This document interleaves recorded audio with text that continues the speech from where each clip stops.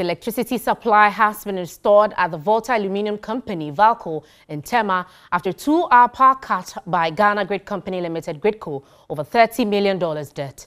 Now, Valco would have lost close to $116,000 if it had been unable to meet its daily production target of 64,000 metric tons of aluminium.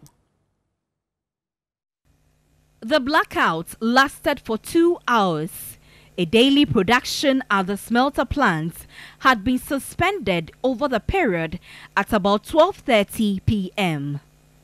The bulk supply power for auxiliary and reduction services in molding aluminium and daily stockpiling all came to a halt. Administrative work was also suspended over the period. Sources say the sudden shutdown affected what is being processed at the time, and workers will be required to work extra two hours to remold the metals. The current market price for aluminium per ton is $1,800. Although there has been some engagement between Valco and Gridco management, that could not save the situation to avert this unfortunate incident. Gridco in November served notice to retrieve debts owed it, which was making the power distributor record losses.